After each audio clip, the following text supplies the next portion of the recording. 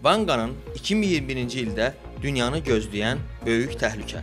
Əsl adı Vangeliya Pandeva olan 31 yanvar 1911-ci ildə Makedoniyanın Stromitsa kəndində dünyaya göz açmışdır. Kiçik yaşda olarkən ildırım vurması nəticəsində gözlərini itirmişdir. Günümüzdə olan koronavirus epidemiyasını Vladimir Putinin prezident olması, 11 sentyabrda əkiz qüllələrə hücumu və bununla yanaşı bir çox hadisələri öncədən söyləmişdik. 2028-ci il yeni bir enerji kəşf edilir. Dünyada aclıq azalır. Veneraya insanlı bir vasitə göndərilir. 2025-ci il Avropada hələ də çox aşağı əhali var. 2033 qütb buzlaqları əriyir. Okeanların su səviyyəsi yüksəlir. 2043 dünya iqtisadiyyatı bərpa olunur. Avropada müsəlmanlar üstünlük təşkil edir.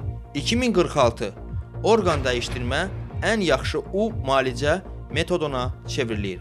2066 ABŞ müsəlman Romanın hücumu qarşısında yeni bir iqlim silahını sınadı.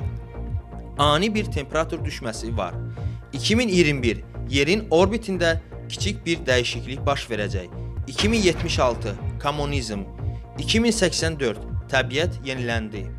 2088 yeni bir xəstəlik ortaya çıxdı. İnsanlar saniyələr içində yaşlanır. 2097 bu xəstəliyin müalicəsi tapılır. 2100 süni günəş yerin kölgələnən tərəfini işıqlandırır. 2111 insanlar robota çevrilir. 2123 kiçik dövlətlər arası müharibə. 2125 kosmosdan alınan siqnal. 2130 yad planetlərin dəstəyi ilə sualtı koloniyalar meydana gəlir. 2164 heyvanlar yarı insana çevrilir. 2167 yeni bir din.